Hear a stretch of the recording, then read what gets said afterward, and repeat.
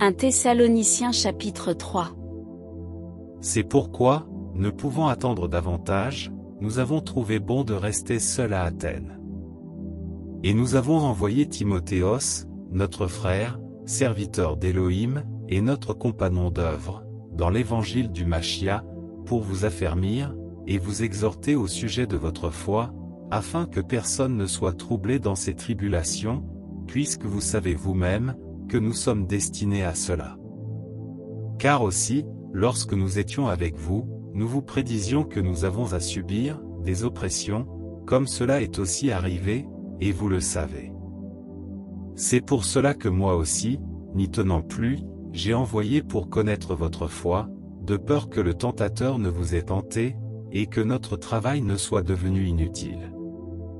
Mais Timothéos, récemment venu de chez vous vers nous, nous a apporté la bonne nouvelle de votre foi, et de votre amour et du bon souvenir, que vous avez toujours de nous, désirant nous voir comme nous aussi, par rapport à vous. À cause de cela, frères, nous avons été consolés à votre sujet, par le moyen de votre foi, dans toute notre tribulation et notre calamité. Parce que maintenant nous vivons, si vous demeurez fermes dans le Seigneur. Car quelle action de grâce nous pouvons rendre à Elohim, à votre sujet, pour toute la joie que nous éprouvons, devant notre Elohim, à cause de vous.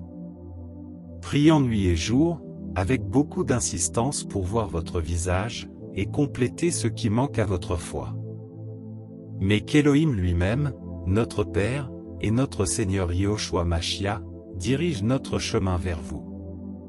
Et que le Seigneur vous fasse croître, et abonder en amour les uns envers les autres, et envers tous, comme il en est de nous, envers vous. Pour affermir vos cœurs, pour qu'ils soient irréprochables en sainteté, devant notre Elohim et Père, en la parousie de notre Seigneur Yahushua Machia, avec tous ses saints.